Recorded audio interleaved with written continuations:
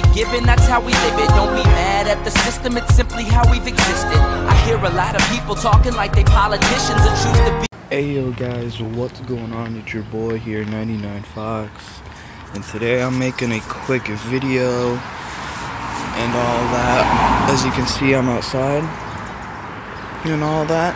So, sorry about the cars. I know this is the worst place to record outside, but anyways, I'm getting ready to go to school. Yeah, school.